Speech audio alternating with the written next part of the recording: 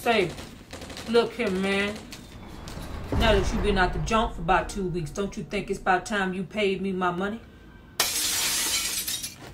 I told you I ain't have your money yet, man. What? Motherfucker, just what I said. I told you I ain't have your money yet, man. The fuck you mean you ain't got the money yet? Motherfucker, you best be coming up with my cash.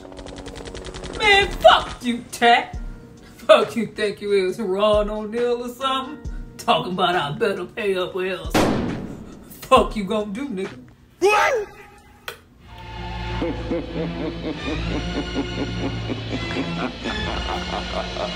what? What am I do? No. Squeeze that shit, nigga. I'm supposed to be scared now just cause you got a pistol, motherfucker? What? Just spent five fucking years in the junk. Now I told you I'm gonna pay your monkey ass when I feel like it. Better suck my dick.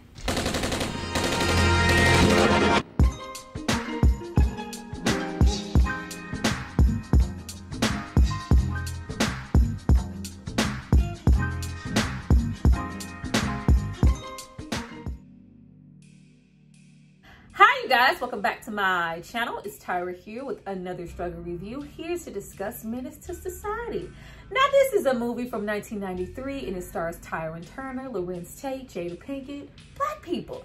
Now before we get into all things, I got these cheeseburgers. Nigga, what? What you say? I said I got these cheeseburgers. I need you guys to drop down and subscribe to my channel and like this video. I'm gonna give you guys a moment to do that and then we're gonna come back and discuss boy, these old 90s hood movies was making it real hard for LA. You didn't want to go to LA. You was going to get shot. You was going to wind up in a gang. You was going to sell some crack. You was going to smoke some crack. Or you was going to go to jail. Damn. Let LA breathe. Go back, back, back, back, back.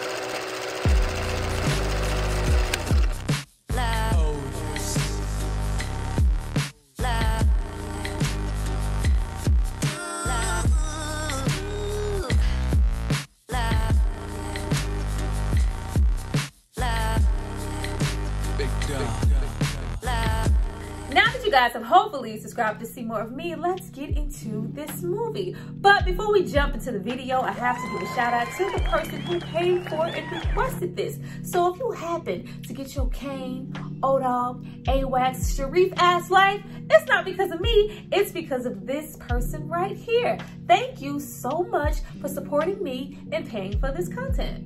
Now, getting into this movie, this movie was directed by the Hughes brothers, and I always tend to forget about them. They didn't go on to direct a whole lot, but the little bit that we did get from them was really commendable that I wish they had went on to do more. Not only were they a different dynamic because they were directing movies as twins, but this was their very first movie. Like, to come out the gate and do something so grand, so memorable, have such an impact on the culture. Though these are classified as hood movies, there is, you know, great acting, great story writing. There is so much substance here. To do that at 20, these guys were 20 you know we are uh, i believe high school dropouts at this point. Not only to go from this but literally a year later with them not executing any of the writing on this film we went on to write on dead presidents and direct dead presidents of course incorporate Larenz Tate yet again talent. Like that was your first script. That was your second venture into directing. I really wish that they had went on to do more. Of course we have the american pimp movie pimp stuff holds down all that good stuff.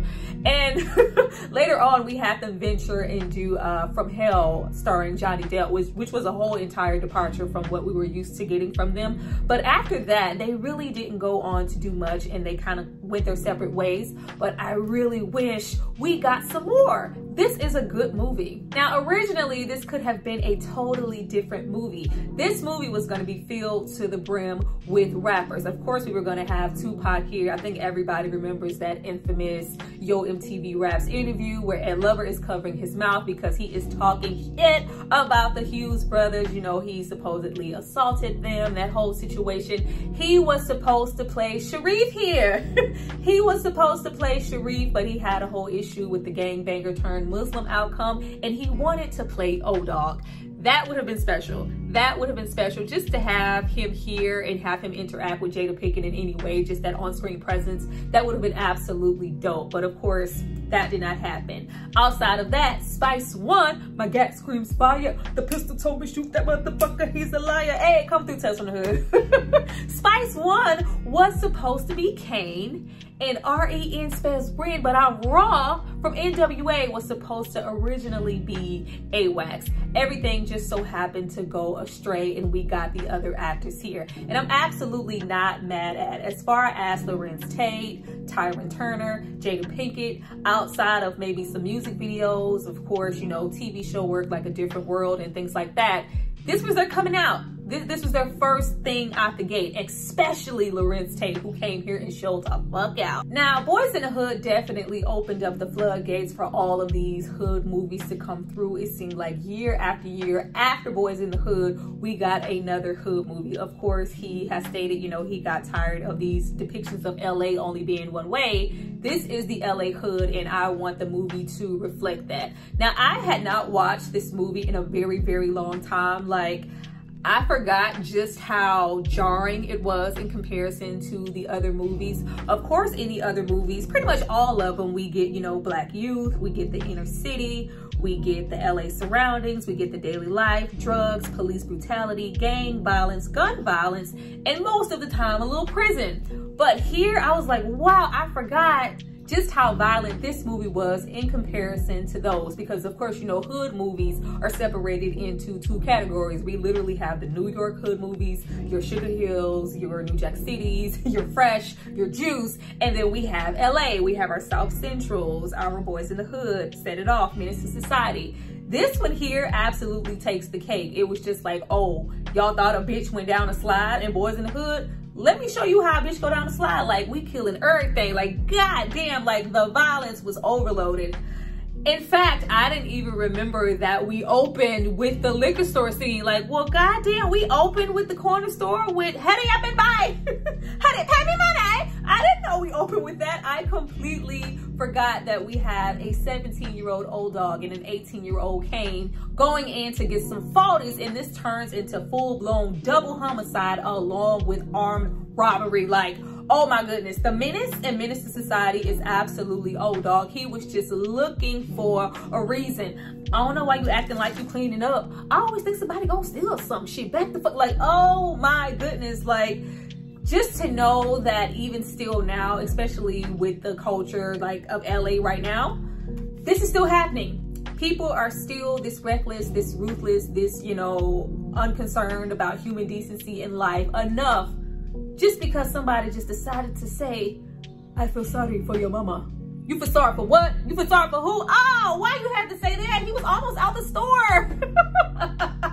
This movie is absolutely a blueprint of how an environment can even breed somebody like Caine, somebody like O-Dog, somebody who just has no concern for life, no concern for anything. Like it's nothing. I am willing to take you out for a few hundred dollars. Like same thing with now people rolling up on rappers, taking their chains. Like it's not about that. I'm not concerned with you. I'm concerned with what I can get for myself in this moment. And if I have to kill you or whoop some ass to do that, I will do that. Of course, we have Caine drop his bottle. I love how he's just instant. Nigga, hurry up! Like, you better get your ass up out of here. Like, it's just so normalized and it's absolutely terrible. Y'all remember when all the rappers was doing them faulty malt liquor, St. Ides ass commercials?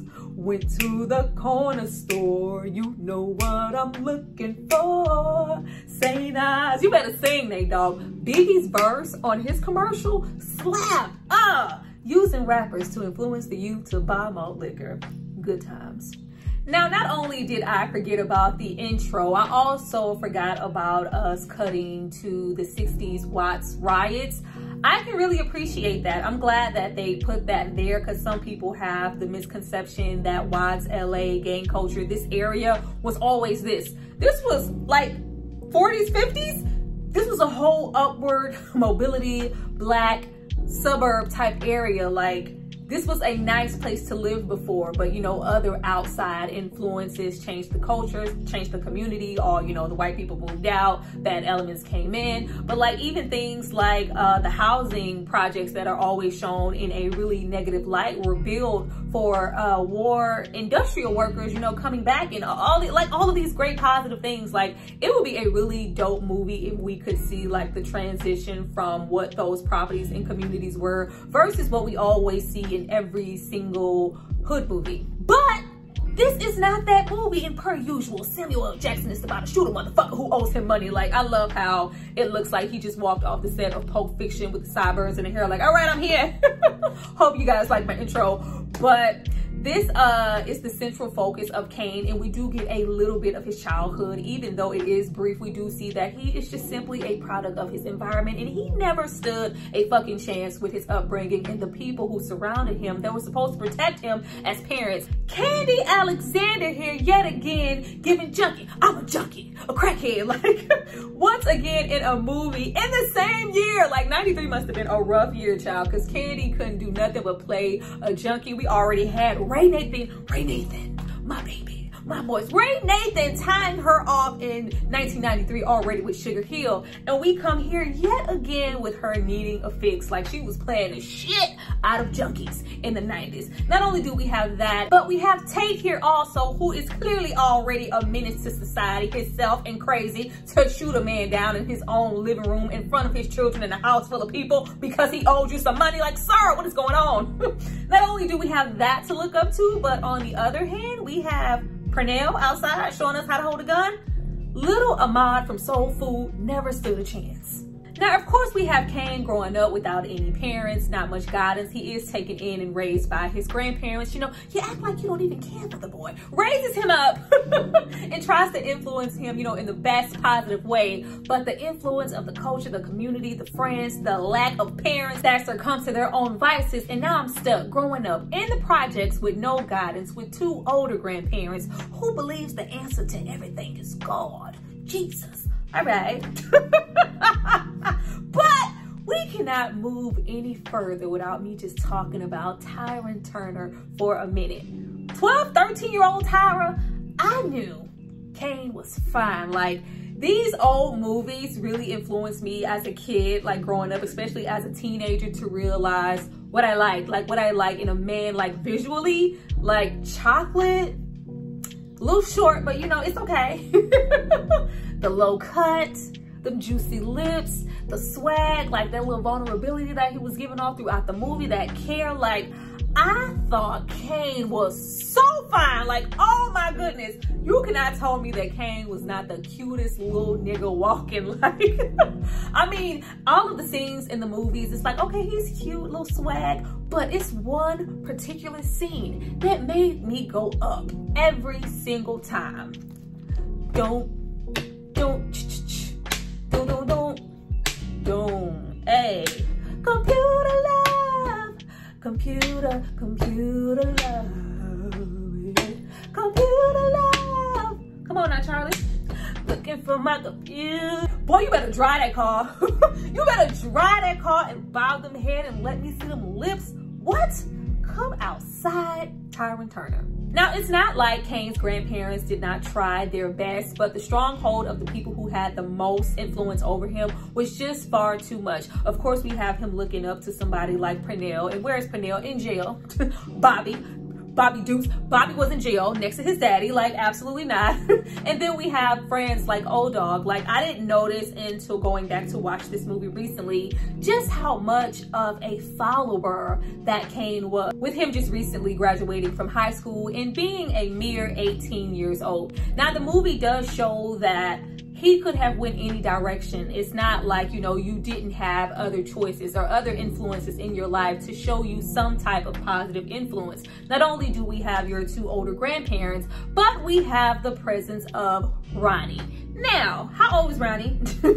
how old was Ronnie? Like, I was always a little conflicted with her character because she didn't seem like so much older than Caine. But Pernell was a whole lot older than Caine. So I always just put it in my mind that Ronnie was, you know, the little neighborhood cute girl who was preyed upon by the local neighborhood drug dealer. You know, you know, the little hood niggas that come and pick up the ninth grader. Like, what, sir, sir, R. Kelly, get out of the parking lot. She's not out of PE yet.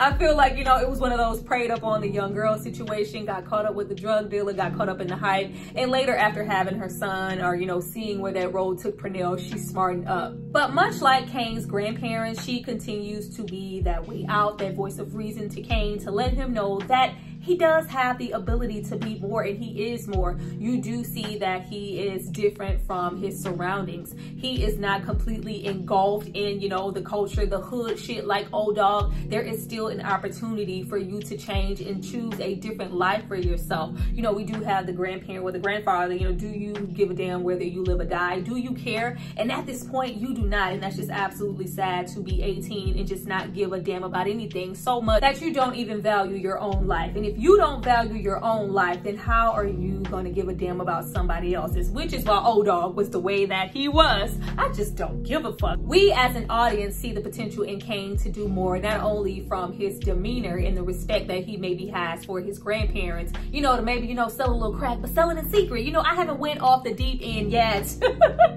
but also in the relationship that he has with Ronnie and how he treats her. Of course, this is in correlation with the relationship that he has with Pernell. You know, let me make sure they're okay. Let me drop a little money. But you do have Ronnie continuing to be that voice of reason. I don't want this. I don't want your dirty drug money. I know. And if you're breaking in this house again, the doors will be locked. Like, I don't want your money. I know what you have to do in the streets to get this. I don't want that. I don't want you teaching my son how to hold a gun. Like, that's not what we're about. Matter of fact, I'm just trying to move the fuck away.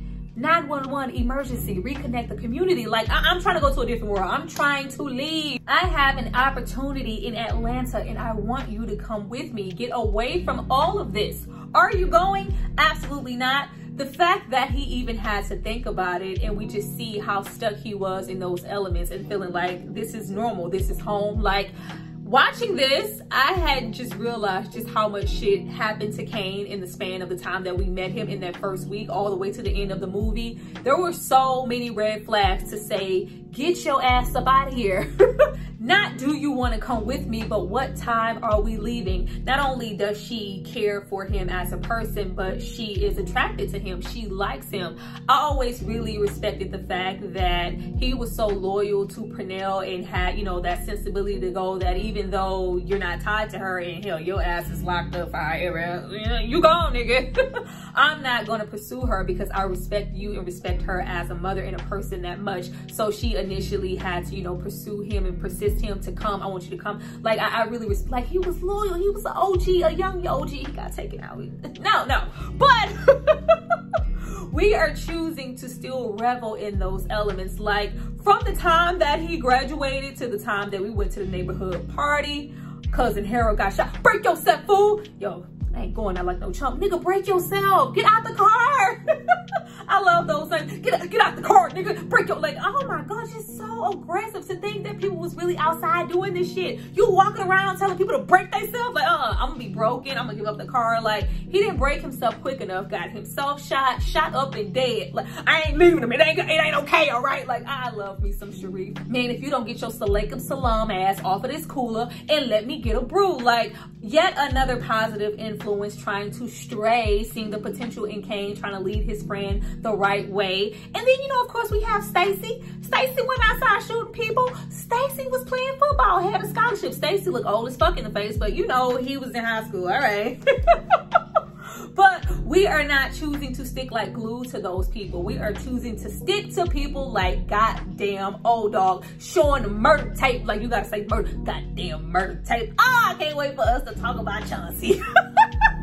O-Dog is constantly being so reckless. He is so unconcerned for anything that, I, I don't even care if I get caught. I, I, can show this tape. It does not matter. Like this tape throughout the movie is being shown, it's being ran around because he thinks this shit is hilarious. Like just how crazy O-Dog was and how irrational he thought in the movie, his concepts of what it meant to murder somebody, selling some drugs, like the value of life. Like it is absolutely scary to think that there are people out here in the world like that. And we know that they are like he says throughout the movie, like, I don't give a fuck. I don't care about none of that shit. Like, I swear I'm killing every nigga standing outside. I'm killing everybody. I don't give a fuck. Don't come in here acting like no mark ass, trick ass, punk ass, hoe ass bitch. We shooting everybody. Like, damn, we, we gotta shoot the babies.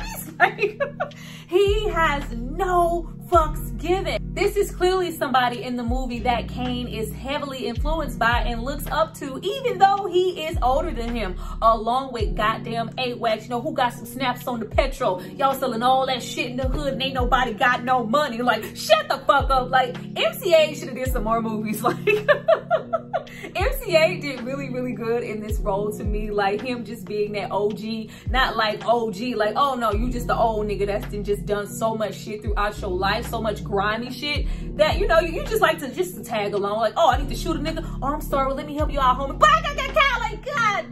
The influences were horrible. But the fact that he is looking up to these people because this is what I know. He had no real father figures in his life. This is all I was ever taught to be. So why would I try to do anything else? This movie, along with South Central, along with Boys in the Hood, always reflected on the importance of having a stable, good father in your life. Not that, you know, mothers are any less important because child, hello. but just uh, in certain, like this particular element, like you need guidance, you need a father, you need a mother, you need stability to let you know what you need to do. Because if you don't, somebody else like O-Dog is gonna tell you. Not that that wouldn't have made a difference because Caine was such a freaking follower in this movie. If it wasn't O-Dog and A-Wax, it could have been somebody else. Now, midway through the movie to the very end, it's just constant foreshadowing to the fact that Caine is just increasingly dwindling down to a very bad path. And he is eventually going to die. All the way till we get shot, that dramatic ass scene. Getting carried into the house. Fuck the phone, bitch, you about to die over there. Like all the blood blood you would ever want to see. I'm like, oh my goodness, like what? Oh, you got shot in the shoulder? Oh, okay. But we see the criminal activity continue to increase after we initially kill somebody for the first time. That just made everything else flow much easier and feel like nothing. Not only are we selling drugs, not only are we down for 187, we are now carjacking, stealing cars, trying to sell them off. Like this is the first time that we really hear from Chauncey's punk ass, aka Clifton Powell in one of his first, like the roles that he took early on really reflected the roles that he got later in life and how we see him as an actor. Like the first time I saw him, whoa, whoa, whoa, whoa, episodes of Roc, being Andre with goddamn Charles S. Dutton, who's here also about to choke his ass out because he was trying to sell crack in the neighborhood. And then we have him here, yeah, come on around, pick up the car by 1030 Oh, 1030. Yeah, motherfucker, 1030. But you don't want to come around here. We want to come to this black neighborhood. You don't feel safe. You you feel safe enough to come around here and tell the, the black man to steal for your monkey ass. Like, get your fucky ass. but he was set up in life to portray shisty ass characters and I love it so much. but not only do we have things intensify with them being caught stealing cars, doing jail time, have some heavy hitters here. Like not only do we have, you know, Charles S. Dutton, the hunt is on, giving them, you know, them good old lean on me ass speeches. but we also get Bill Duke here, you know. So you said you dropped the bottle. You went to the store at seven. I thought, you know you done fucked up, right? You know you done fucked up, right? Like, now I also can't remember watching this movie way back when I used to really, really feel sorry for Caine. I used to be so sad, like, man, my boy going out bad. Like, no, you was fucking up, bruh. going back to watch this as an older person, you really get to reflect on just how many opportunities that he had gotten to choose a different lifestyle for himself, but he persisted to go into the opposite direction. Not only do we have the influence of Ronnie, not only do we have the influence of the grandparents, not only do we have great coaches telling us stuff like we can be more, like the hunt is on, you're the prey, watch out for yourself. Like We have to move and be different. There were so many different opportunities for him to go, you know what, Cherie, Stacy are leaving to go, you know, hey, maybe I need to switch up. But no, we're running around with O-Dog. we doing time. We getting out. Mind you, you're doing time. You're 18. O-Dog is 17. His ass is on the street shooting niggas up. I said I suck your dick. Nigga, what the fuck? I said I suck your dick. Nigga, damn, hook me up. Bow, like, damn, he is...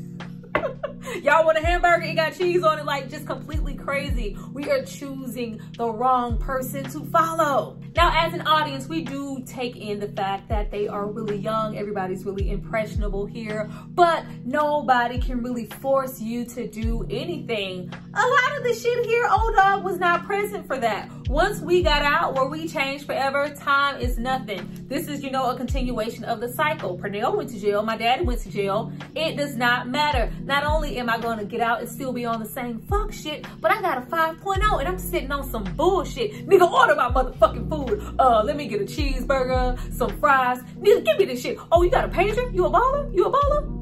This shit. Like, we robbing people. Yo, man, we ain't supposed to be doing this to each other. We supposed to be brothers. Oh, well, nigga, you trying to be woke? You trying to kick some knowledge? Give me this shit. Like, diving headfirst into even more criminal activity. We are adult boy, dope boy now. It was once said by a man who couldn't quit dope man, please can I have another hit? The dope man said, clock, I don't give a shit. Let your girl kneel down. And so, well, it depends on, you know, which version of II Society you have because in one you hear dope man, but in another one, you know, when Too Short come in the kitchen and say, we got some more in the back, you can hear I got a pocket full of stone by UGK. It all depends, but both of them bitches slap. I didn't really get too much into the soundtrack in this uh, movie, but it is very soul like Cali. There's, you know, some DJ Quik. We got some Oakland with some Too Short. It's like, of course, we got like it is so well versed as far as hip hop at that moment in different artists. Like it's a pretty good soundtrack. And then as far as the movie, we are public announcement R. Kelly down. Hey, Mr. DJ. Come on now. Hey. Why don't you slow this party down? Yeah, it was, it was a, you're the only one I wanna slow dance, babe. Yeah dedicate this one to my favorite girl. The public announcement was all up and through this movie. Now, out of all the shit that Caine does in this movie, all, all the killing, selling the dope, trying to be low-key a little stick-up kid, a little robbery, the thing that comes back to bite him in the ass in the end is when he initially meets a girl by the name of Helena. Now, I wish we had gotten a little bit uh, more time with her since she is kind of like low-key the downfall. I wish we got a little bit more time with her, but it was kind of like a one and done situation. This is a female that I hit and now she's pregnant. And of course, Caine, respectable, nice, sweet Caine, says the shit that I all the niggas say it ain't mine, all right? I had the Jimmy on extra tight, like, peace, see you later. Anybody else ever felt down in their spirit that it wasn't his? Like, I just felt like Helena was that girl.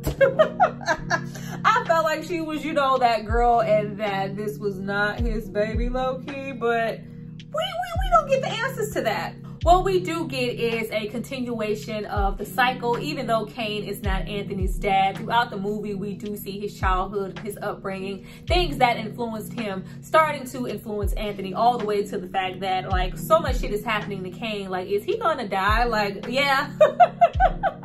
but we have him really conflicted, even though we do have that strong presence of police brutality within the movie. You know, we have them constantly harassed to the point that he is hospitalized with Sharif. And then we have him really start to contemplate whether he should leave with Ronnie. Now, I think that point kind of changed for him because we literally have him do a whole shift overnight as to, you know what, maybe I should leave. Even though we've had all these things transpire, he doesn't see any value in his life. You have him constantly asking her, you know, why do you care? Why are you here? I think he probably has some type of abandonment issues from um, his parents, you know, not being there. Even though his grandparents were there, it's like, are you here? for what? Like you could be here out of obligation. Nobody else was gonna take me. But here I have Ronnie and her son who looks up to me. And Ronnie doesn't have any strong obligations to me. She could leave and go to Atlanta and not give a damn about me. So that must mean that I do have a stronger, higher purpose.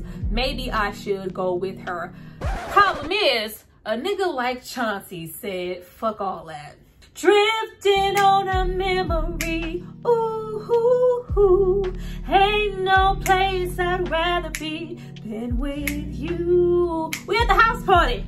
Well, loving you. Stay out my business, Stace. Get out my, well, well, well, get out my business. If we want to get some honey love in the dark, the darkest shadowy love scene I've ever seen in my life. I was like, why we want to come here? We didn't have to look at all these murder, death, kills. But as soon as we get some sex, I want to be modest.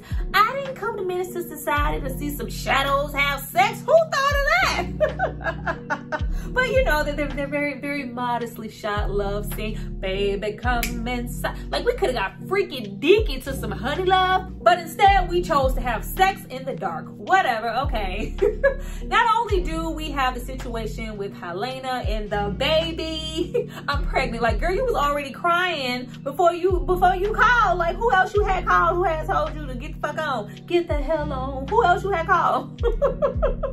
But the whole situation with Chauncey, I wish throughout the movie if they could have fitted in somewhere in the writing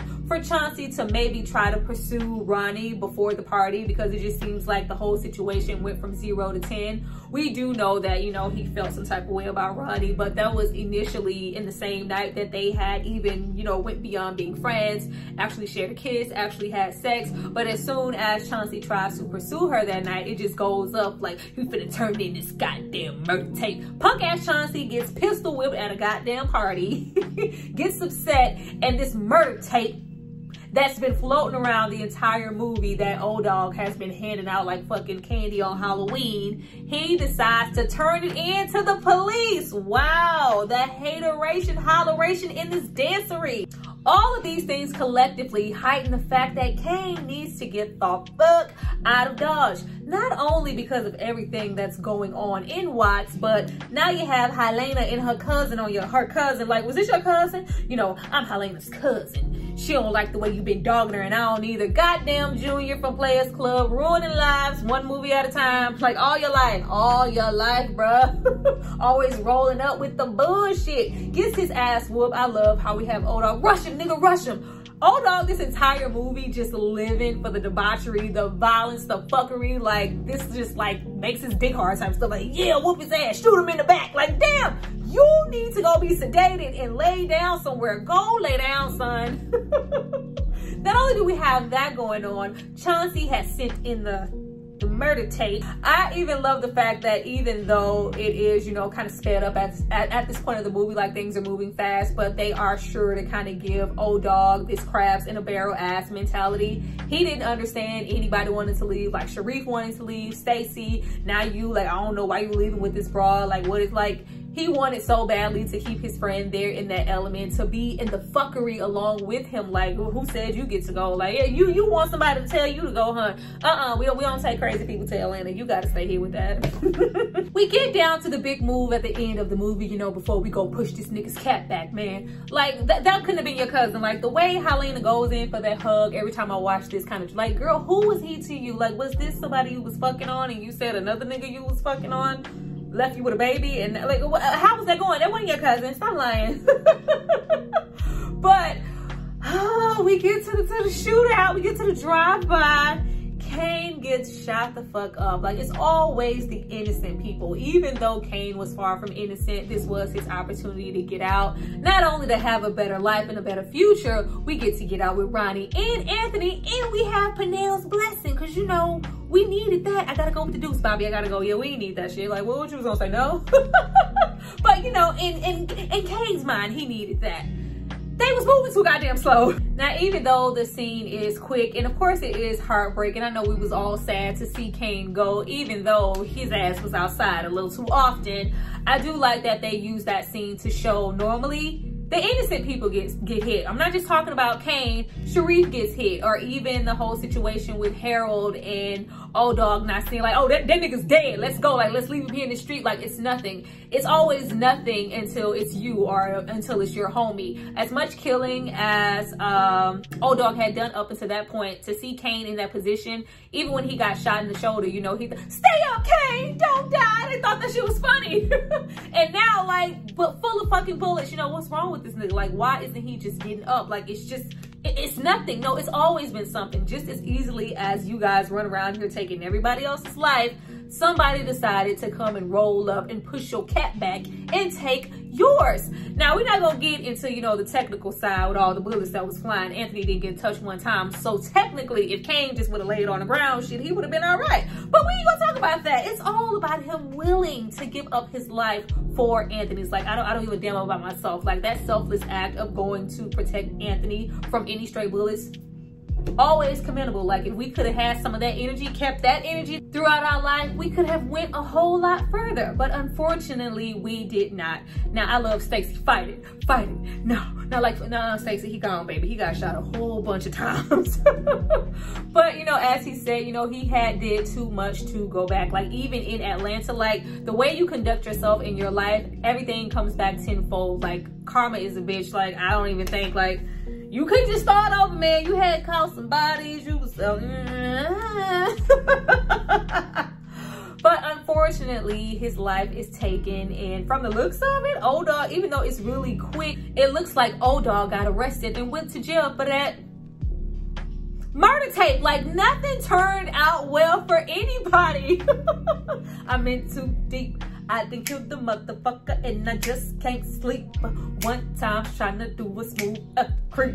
And on top of that, ah, niggas after me for fucking one of they hood rats. I ain't got time for the fucking bitch's story. Niggas what we got to come to my territory. Oh, they went out like straight up minutes. Yeah. Oh, such a sad ending. We wanted him to go on. We did. Like, I think like 14 year old Tyra wanted Caine to go on a little bit more than adult Tyra because adult Tyra was like, well, yeah, you was outside. Don't be outside. Stay in your house. Stay in your house before somebody get a hold to the murder tape.